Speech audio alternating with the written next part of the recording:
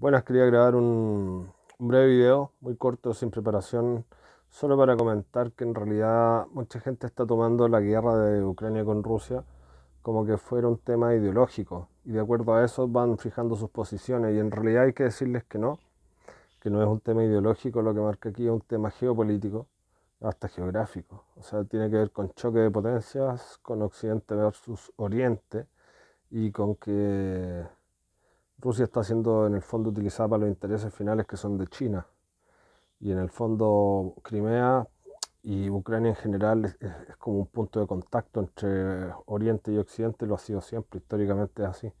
Entonces no se, no se enreden tanto con eso, no se enreden tanto con la ideología ni nada, porque mucha gente dice, uh, a mí me gusta Putin, qué sé yo, por eso lo apoyo.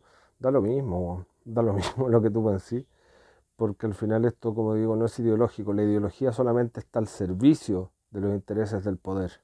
El poder en pugna es Occidente versus China, comunista. Listo. Punto.